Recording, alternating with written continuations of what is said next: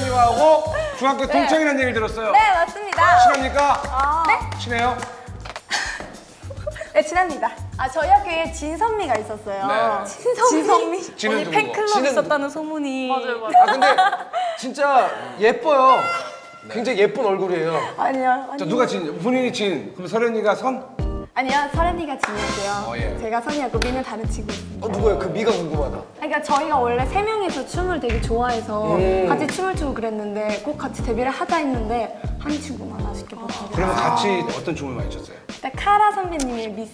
아. 음악 빨리 걸어라. 뭐라도 하나 해야 돼. 어, 음악. 하나의 미스터. 자, 음악 주세요.